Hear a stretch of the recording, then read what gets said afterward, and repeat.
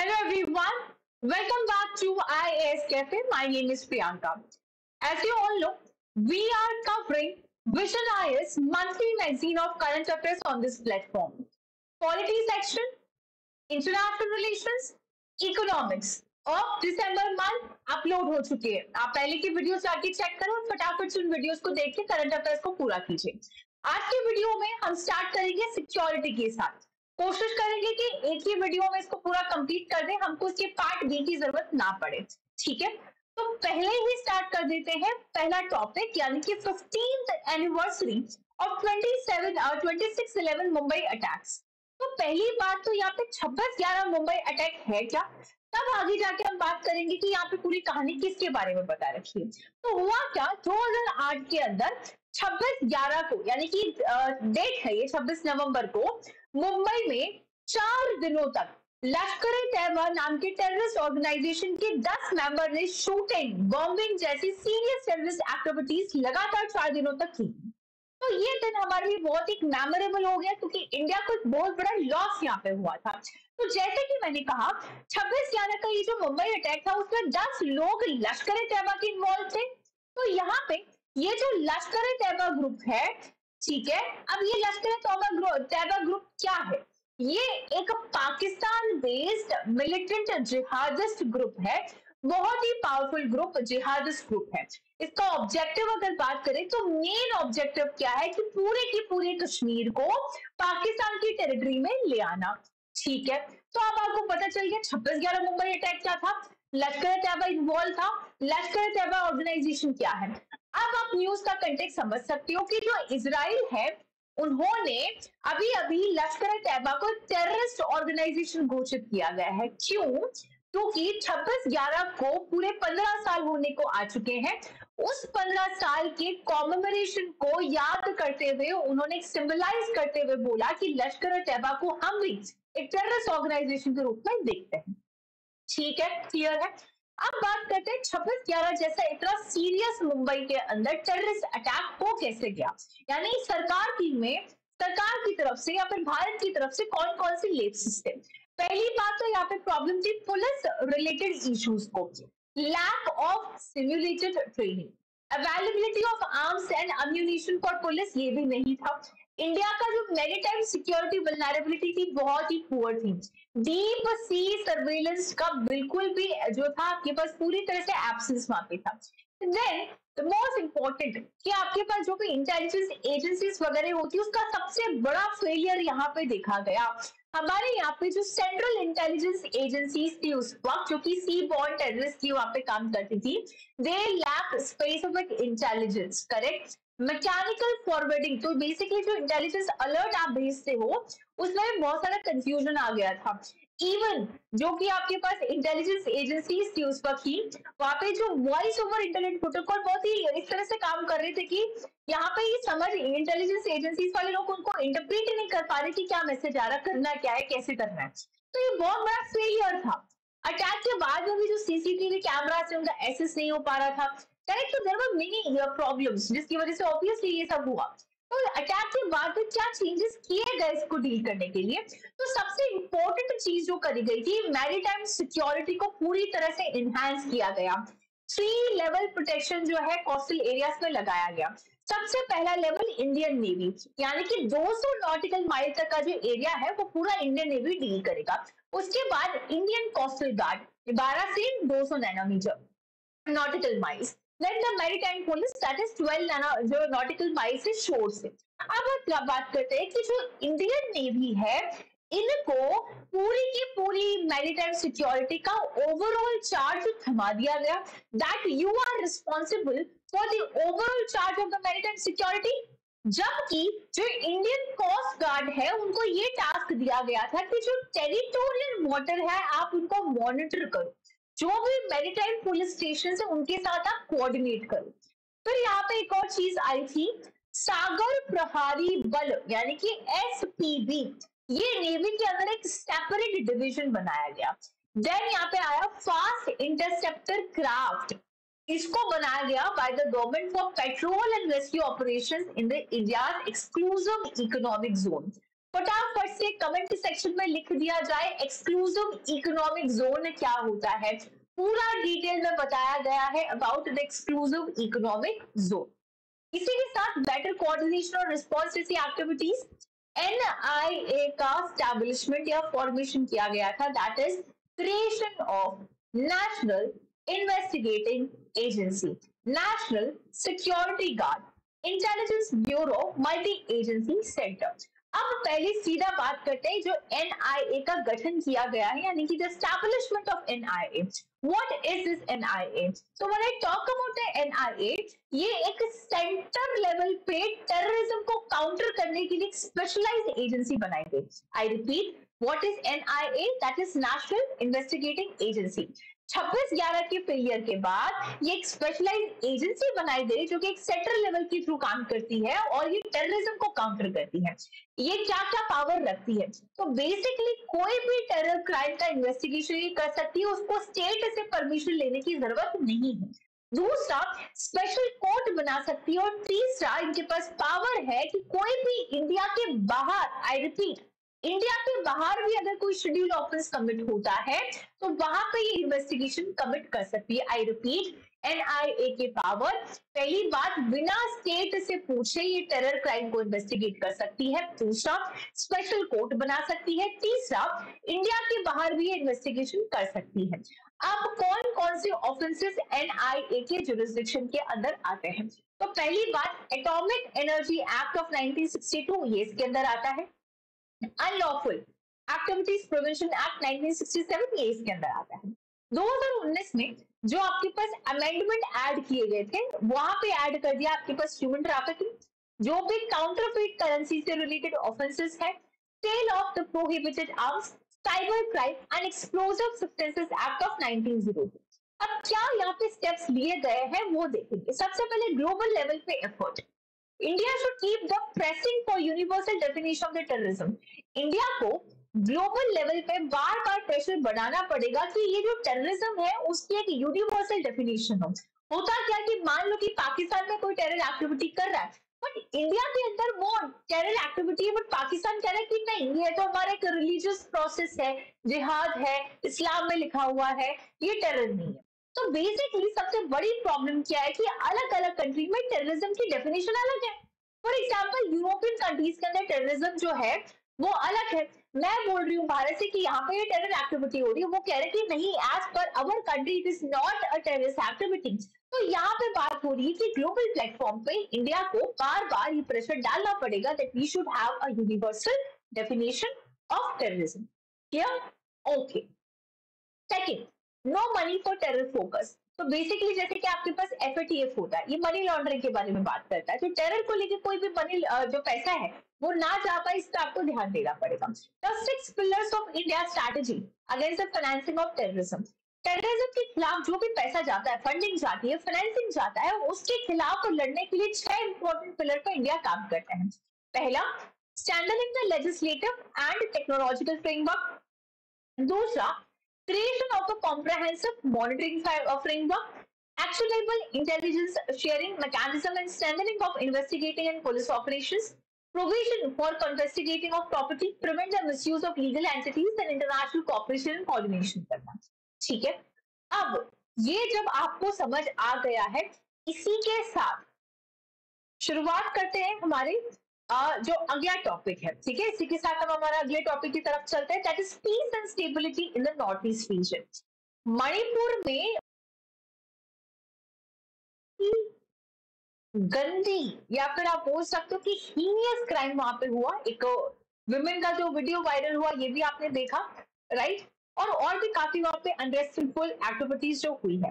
तो बेसिकली इसी के रिलेटेड हम बात करते हैं कि जो हमारी भारतीय सरकार है और जो आपके पास मणिपुर राज्य, मणिपुर स्टेट की जो सरकार है, इन दोनों के बीच में पीस अग्रीमेंट साइन हुआ है with the United Nation Liberation Front अब आप बोलेंगे, ये यूनाइटेड नेशन लिबरेशन फ्रंट क्या है? 1964 में इसको बनाया गया था। ये वहाँ का oldest valley based insurgent group है। जब हम इंसर्जेंट ग्रुप की बात करते हैं, यानी हम इंसर्जेंसी की बात करते हैं, यानी कि देश के अंदर के लोग ही जब विद्रोह करते हैं इंसर्जेंसी होती इंसर्जेंट होता है। तो मणिपुर में सबसे पुराना जो इंसर्जेंट ग्रुप है, वो है आपके पास यूएनएलएफ इसको 1964 में बनाया गया था। और इसकी जो आर्म्ड विंग है, इसको बोला जाता है मणिपुर पीपल्स आर्मी ठीक है? अब जैसे कि हमने बात करा कि 1979 के अंदर यूएलएफ का फॉर्मेशन हुआ। इसका डिमांड क्या था कि हमारे को एक सेपरेट असम देखो सबसे पहले तो आप एक पिक्चर इमेजिन कीजिए, ठीक है? एक मिनट ये आप नाप थोड़ा सा ध्यान से देखेंगे ये हमारा नॉर्थ ईस्ट है। बहुत इंपॉर्टेंट है, ये आपके पास असम वाला एरिया बहुत ही बहुत ही फोकस से देखेंगे, असम है, ये अरुणाचल प्रदेश है, नागालैंड, मणिपुर, मिजोरम, मेघालय और त्रिपुरा। और ये चीज़ आपके पास इंडिया की है। ये पूरा आपके पास बांग्लादेश है, दूसरा राज्य। ये पूरा चाइना, ये पूरा म्यांमार। भारत से तो सिर्फ़ यहीं से जुड़ा है। अब सोच के देखो कि पूरा नॉर्थ ईस्ट रीजन इंडिया की मेनलैंड टेरिटरी से सिर्फ़ एक पतला सा टेरिटोरियल कॉरिडोर से जुड़ा है। बाकी इसका जो मोस्ट ऑफ़ द एरिया है, वो इंटरनेशनल बॉर्डर का एरिया है। I repeat north east region का बहुत ही छोटा हिस्सा एक बहुत ही पतली टेरिटोरियल कॉरिडोर से इंडिया से जुड़ा है, जिसको आप चिकन स्नैक भी बोलते हो। और मोस्ट ऑफ़ द एरिया इसका इंटरनेशनल टेरिटरी में होता है, जैसे चाइना है म्यांमार इन सबसे जुड़ा हुआ है। तो यहाँ पे बाहर की कंट्री कंफ्यूज बहुत ज़्यादा होता है। इनको हमेशा इंडिया में एलियनेशन की फीलिंग आती है कि इंडिया की सरकार हमारे लिए कुछ सोचती ही नहीं है। इनको कल्चर डिफरेंसेस लगता है लैंग्वेज डिफरेंसेस लगता है। इनको लगता है इंडिया की पार्टी नहीं है। ठीक है? तो ये बहुत बड़ी चैलेंजेस है जिसकी वजह से यहाँ पे प्रॉब्लम आ रही है। तो यहाँ पे यही रीजन है कि असम जो है, इनमें यूनाइटेड नेशन जो लिबरेशन फ्रंट ऑफ़ असम है, इसका फॉर्मेशन हुआ 1979 और इसकी डिमांड की, रखी गई कि हमको सॉवरन असम दे दिया जाए, कल अलग असम दे दिया जाए। हमारा कल्चर अलग है लैंग्वेज अलग है टेरिटरी अलग है, आप नहीं समझ सकते। हमारा पूरा जो असम है, आप उसको सॉवरन कर दीजिए। सो तब से लेके तब से लेके ये बहुत ही ज़्यादा सबवर्सिव एक्टिविटीज़ करते जा रहे हैं। और इसी के चलते हुए 1990 में 1990 में सरकार ने इसको बैन कर दिया गया था। 2011 के अंदर ये जो यूनाइटेड नेशन लिबरेशन फ्रंट है, जो कि बैन कर दिया गया है, ये दो पार्ट में बट गया। एक हिस्सा कहलाया गया pro talk faction of ULFA के। ये वो सेक्शन था जो कि भारतीय सरकार के साथ मान गए उनकी बातचीत करके जो पीस टॉक थी, वो किया और वो मान गया। लेकिन एक दूसरा ग्रुप था, वो अभी भी इंडिपेंडेंट है, वो भारतीय सरकार की जो पीस टॉक है, उसमें उसने हिस्सा नहीं लिया, वो नहीं माना। तो पिछले पाँच साल में नौ पीस और बॉर्डर रिलेटेड अग्रीमेंट जो है, वो साइन हुए हैं इंडिया की गवर्नमेंट और नॉर्थ ईस्ट रीजन के बीच में। जैसे कि, पहला है आपके पास असम, अरुणाचल बॉर्डर अग्रीमेंट 2023 का। इसने पूरी तरह से जो बॉर्डर डिस्प्यूट थे, असम और अरुणाचल प्रदेश के बीच में ये सॉल्व की फिर आता है Assam, Meghalaya interstate boundary agreement ये भी था आपके पास dispute over the six areas जिसमें से out of the total areas of interstate boundary dispute between the state of Assam and Meghalaya Adivasi peace accord that is Karbi Anglong agreement then आपके पास Bodo accord ये सब आपके पास असम से related है. Bru Reang agreement and LFT agreement ठीक है. बहुत इंपॉर्टेंट चीज़ आपने बात करी, हो गया. अब बोलते हैं चैलेंजेस चैलेंजेस हम बात कर चुके हैं, जैसे कि कल्चरल डिफरेंसेस यहाँ पे बहुत ज़्यादा है। इंसर्जेंसी की एक्टिविटीज़ होती है पोरस बॉर्डर है यहाँ पे टेरिटोरियल कॉन्फ्लिक्ट जो होते रहते हैं। लेकिन मैं कह रही हूँ कि अगर नॉर्थ रीजन में हम पीसफुल एक्टिविटी लाना चाह रहे हैं तो इससे क्या होगा? सबसे पहली बात तो टूरिज़्म और ट्रेड बढ़ेगा।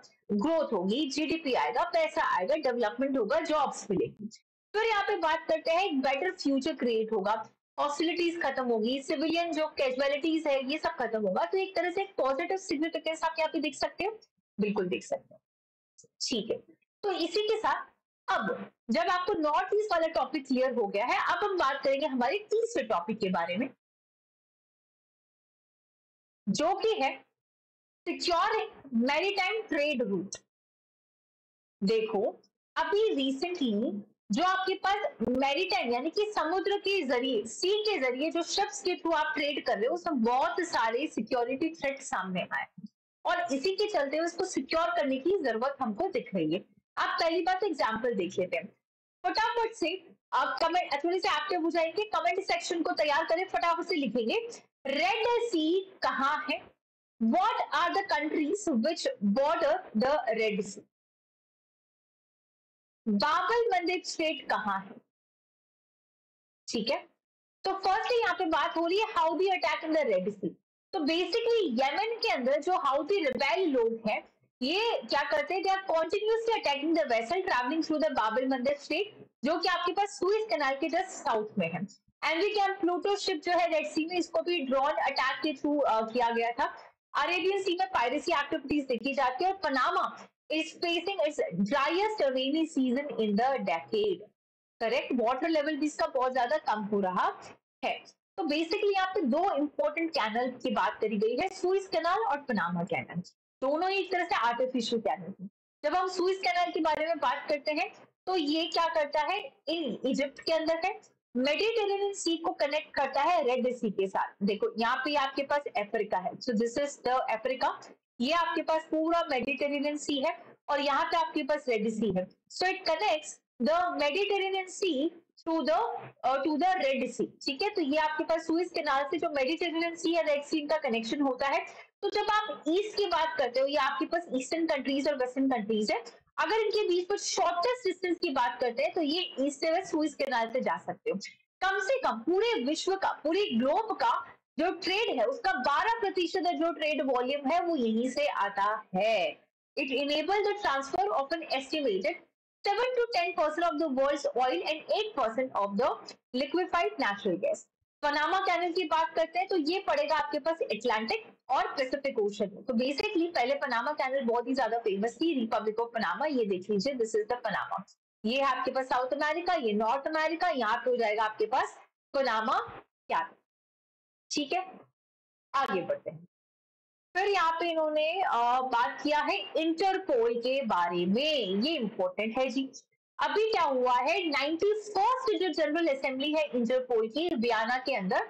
It mark the hundred years anniversary of the organisation इसको पूरे सौ साल हो चुके हैं। पहली बात तो बात करते हैं वियाना डिक्लेरेशन ये जो है it challenging the rise of transnational organise crime was release with the five priority actions India stressed the need to deny any safe havens for crime, criminal and proceed of the crime.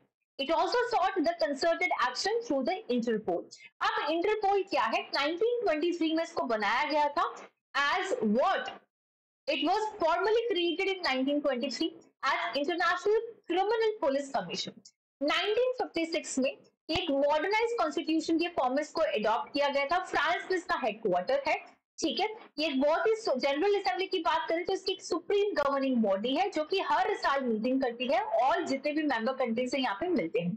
India ने इसको join किया था आज़ादी के दो साल बाद, यानी कि 1949 वियना डिक्लेरेशन के पाँच इंपॉर्टेंट अगर की पॉइंट्स की बात करते हैं तो talks about the transnational organisation the greater cooperation to combat criminal activities information sharing, support the policy uh, officers, police officers, and great investment in the technology and innovation. ठीक है? अब जब ये चैलेंजेस हो गए आपके पास नेक्स्ट जो topic है वो है news and shorts way forward वगैरह आप सब देख लेंगे ये मेंस के पॉइंट ऑफ़ व्यू से प्रीलिम्स के पॉइंट ऑफ़ व्यू से फटाफट से जो मेन चीज़ है वो कवर करेंगे। ठीक है? न्यूज़ एंड शॉर्ट के बारे में आते हैं that is extremism through the use of new technologies and internet पहली बात तो एक्सट्रीमिज्म क्या होता है?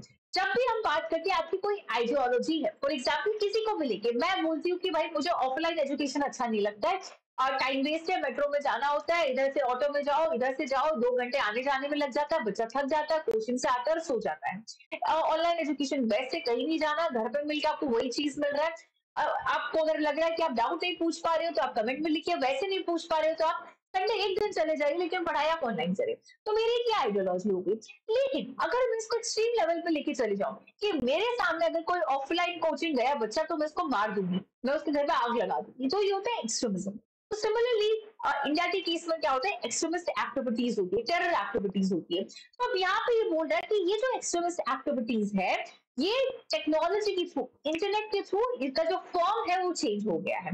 जैसे कि अगर हम बात करें एस यानी कि शंघाई कोऑपरेशन ऑर्गेनाइजेशन ये क्या करता है? एंटी टेररिस्ट मीटिंग्स ऑर्गेनाइज करता है। इसमें दो परमानेंट इसकी जो बॉडीज होती है, जिसमें से एक है रैट चूहे से आप याद कर सकते हो रेड जो कि बात करता है रीजनल एंटी टेररिस्ट स्ट्रक्चर के साथ। तो यहाँ पे ये टेररिज्म को रेस्ट्रिक्ट करने की बात करता है। तो यहाँ पे इंडिया ने इस रेड के साथ मिलकर मीटिंग करी है। अब मिशन क्या है? टेक्नोलॉजी और इंटरनेट बाय एक्सट्रीमिस्ट तो इनको आपको कम करना है। ठीक है? ओके okay, क्योंकि जैसे कि डार्क वेब है ईआर इनेबल टूल से सॉफ्टवेयर है मेन चीज़ जो आपको पता होना चाहिए वो एसईओ एसईओ 2001 में स्टैब्लिश किया। इसके दो परमानेंट बॉडीज है। एक तो आपके पास बीजिंग के अंदर है और एक आपके पास रैट है जो कि ताशकंद के अंदर है। इंडिया मेंबर है।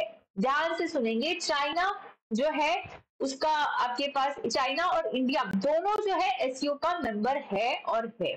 ये United Nation open and drug crime और ये स्टैटिक है, आप इसको पढ़ लीजिएगा। Then we will be talking about the drone for defence इसमें भी कुछ खास नहीं है। Then will be talking about the Akash weapon दो चीज़ें हैं अग्नि वन और द विनबैक्स 2023 न्यूज़ पे आपके पास प्रिलिम्स में आ जाए VINBAX 2023 was recently seen in the news is related to what तो ये एक जॉइंट मिलिट्री एक्सरसाइज है between the India and Vietnam armed forces तो अगर अग्नि वन की बात करें तो एक ट्रेनिंग लॉन्च अग्नि वन है which was very successfully conducted by APJ Abdul Kalam ji on the island of Odisha. Short range ballistic missile, very high precision के साथ इसकी 700 किलोमीटर की रेंज और ये न्यूक्लियर केपेबल है। रोड मोबाइल मिसाइल की ये बात करता है। ठीक है? तो ये था आपके पास सिक्योरिटी के बारे में। सिक्योरिटी यहाँ पे खत्म होती है। अगले वीडियो में हम प्रस्तुत करेंगे आपके सामने। एनवायरमेंट के कुछ मुद्दे। यानी कि जो कॉन्फ्रेंस ऑफ़ पार्टी से रिलेटेड कुछ मुद्दे हैं, उनके बारे में। अभी के लिए इतना ही। अगर आपको हमारी वीडियोस और इनिशिएटिव्स पसंद आ रहे हैं तो आप हमें सपोर्ट कर सकते हैं। सब्सक्राइब करके लाइक करके शेयर करके। Thank you so much